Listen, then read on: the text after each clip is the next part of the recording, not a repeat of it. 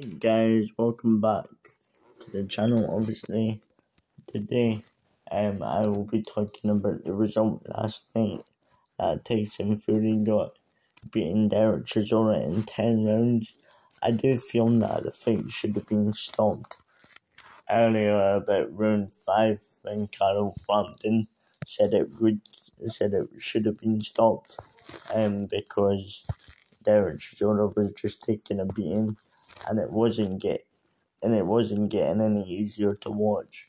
Obviously, Tyson Fury done what I expected Tyson to do, and Chisora tried to tried to um, execute the game plan they'd obviously put in place, but obviously Tyson's just too good, and all roads all roads lead to undisputed in the early part of next year, which I'm really looking forward to.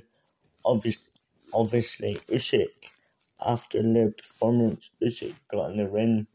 Uh, Usyk basically stand on, standed on the, stood on the ring, and basically stared at, stared at Tyson while Tyson, while Tyson basically spouted all this nonsense about how he's a middleweight, about how was to be Alexander Usyk. And I do expect um, Tyson to Tyson to dismantle Usyk, but it will not be easy. Obviously, Alexander Usyk has been the undisputed cruiserweight champion, and he's the un and he's a unified and he's a unified heavyweight champion. Um, so it will be a good fight. Uh, hopefully we get to see that in the early part of next year. But uh, in the meantime, if you don't get to see that, uh, Tyson Fury did say he wants Joe Joyce if the fight wasn't to materialise.